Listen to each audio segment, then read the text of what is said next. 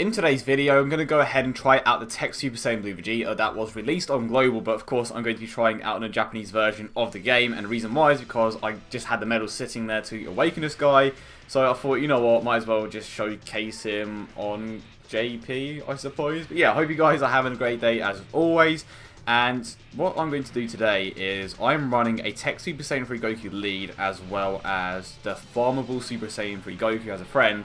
And the reason why I'm doing that is because I want to get as close as possible to, um, to the global leads and what the Tech Type team, tech type team is like at the moment. And at the moment, all of my units are getting a 150% stats boost, so that's like 10% more than a double Super Saiyan 3 Gotenks lead, so it's close enough, and hopefully I will be able to showcase how good this guy is. So basically what I'm trying to do today is just show off every aspect of his card, including his defensive capabilities, how hard he can hit, how much of a difference that super attack um, buff actually makes to the other units. And uh, yeah, as you can clearly tell, I've um, actually used quite a lot of my items up, so I don't know how long I'm going to be able to survive for, especially against Goku Black. But I hope we're going to be fine. I mean, we have two units that can debuff, so I suppose it's going to be okay. But here we go. We should be able to take him out this turn, and... I mean, unfortunately he doesn't have the Fierce Battle Link, so he's obviously not going to be hitting as hard as he um, could have with that link. But he seems to be hitting for around 110k to 120k-ish with... Uh, okay, let's go with this. With the boost from the um, double um, lead. Well, it's not exactly a double leader skill from boost from both Super Saiyan 3 Gokus, of course. So you can only imagine how hard he's going to hit on that double Super Saiyan 3 Goku lead. And the reason why I'm trying to um, work with Global Lead, so to speak, and how it works there, it's because they were obviously released on Global today, and if you haven't seen it already, I did a summoning video on it, and spoilers, I pulled Super Saiyan Blue Vegeta, and I thought, you know what, might as well showcase this guy because I never had the opportunity before, and I, you know, thought it was the right time to do it. It's a shame that I don't have the medals to awaken my Super Saiyan Rage Trunks, and I don't even have one on Global, so yeah, that's where the problem lies. And you can see where we may start to encounter a few problems here, because we literally have, like, no health. So I may just, you know, go until I die, and then jump back into Boss Rush with, um, what do you call it, with um, you know, not not a different team, but like the same leads. I don't know, fuck. Okay, here we go, and we should be able to take this stage. Oh. So we should be able to take this stage out without too many problems. Like I was saying before, um, I will most likely die very soon. Um, if I get lucky, I might survive, but it's more than likely that I am going to die, so if that does happen, I'm just going to start boss rush again. And hopefully I can find that Super Saiyan 3 Goku friend. Not Angel, of course. Okay, last stage. I am going to go ahead. The thing is, I could get a stun here. You know what? I'm going to be. I'm going to take a risk and hope that he does stun. But keep in mind that he can still lower attack. So even if we don't get super attacked, we should be fine. Okay, so here we go. Chance to stun. It's a high chance. Come on. And, okay, we stun. Awesome. But I'm still going to die most likely. Actually, I have an Usher. It's going to be close. It's going to be close. And granted, I can't show off his defensive capabilities here. But I will do my very best to um, do that once I restart this event. And I probably should have just restarted it, but I wanted to see how well he can do against a stage where um, the boss has a pretty high defense and can hit hard as well. If Goku gets a crit here, or if he's stunned, we should be fine. I believe the stun chance is only like 10, 25%, somewhere along those lines. It varies with every unit. But here we go, and I don't think we. Oh, we did get stun. Wow, we actually got the stun. I think we are going to survive. Damn. That is very surprising to me, and gonna keep, gonna continue lowering that attack. Uh, save enough ki for Goku. Wow, we can watch us die like straight away at the start of the next turn. We've made so we've made it so far, but we are going to die as soon as we get to that first turn or that next rotation. Oh, come on! We are so close to taking this guy out. Damn it! Come on, and I still need to show off the boost that his Super Attack actually gives, so I don't want to put Super Saiyan 3 Goku in that last slot for now. Oh, what do I do here? Bit risky, but I think We've debuffed enough to tank these hits. If I get super attacks, I am dead though. This is it. I am either going to kill this guy right now, or I'm going to die. Come on. I mean, I'm going to restart it anyway. But come on, be nice. Be nice to us. Get the crit. I actually need the crit now. Oh, I'm dead.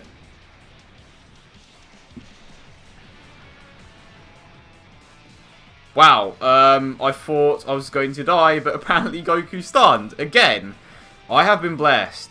I thought, I literally was about to just, like, come off the stage. That's why I stopped speaking. I'm like, okay, you know what, I'm dead anyway, might as well just stop speaking. And then, oh, I actually stunned. Bit of a surprise. So we are going to live another day, which is great. And I don't, it doesn't really matter if I was a stun or not, because he's already stunned.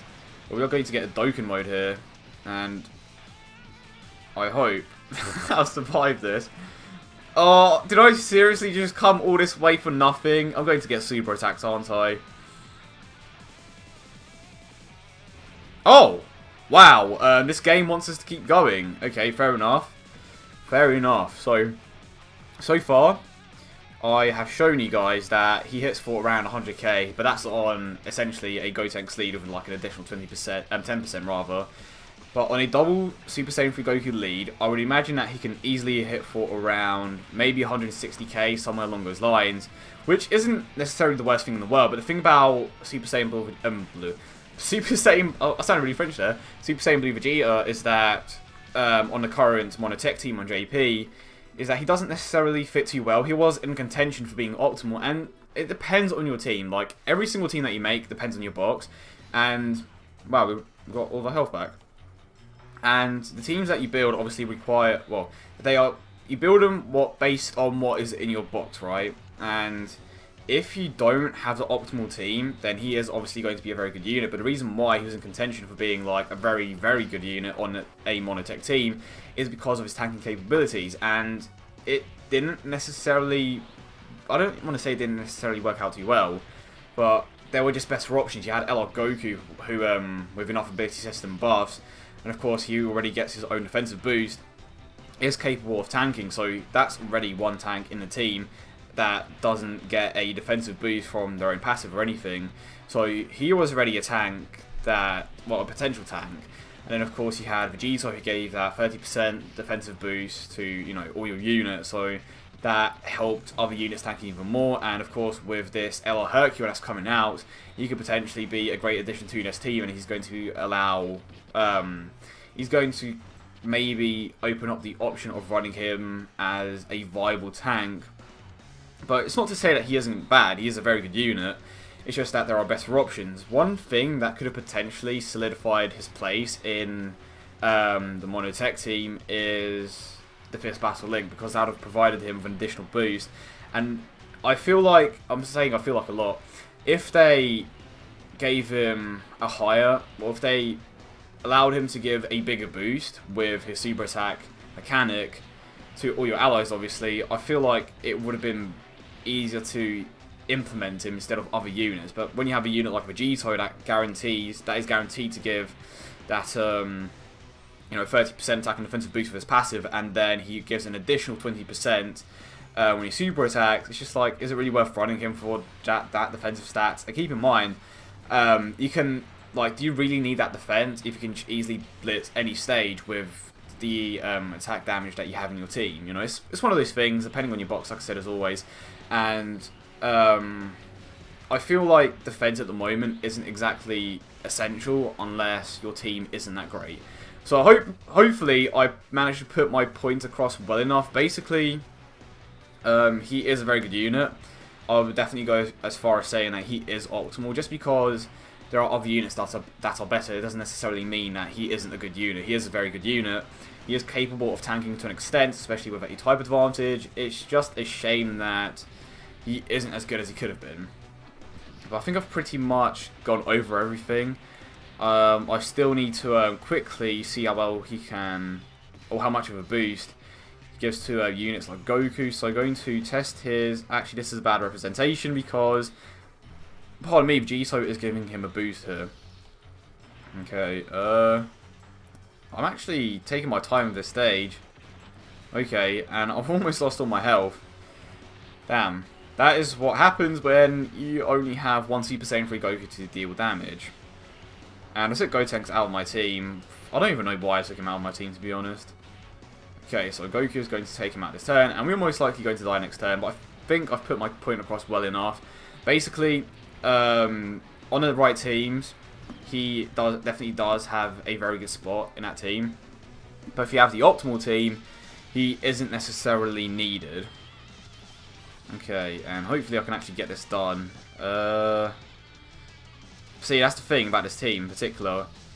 In certain scenarios, there are, you know, it doesn't exactly link well. And, and that's one of the other problems. The links in this team have never really been that great since the introduction of, like, oh, I'm dead. So I ended up dying, but hopefully I'll put my point across well enough. If you have any questions, if you have any um, corrections for me, do let me know in the comment section down below as always.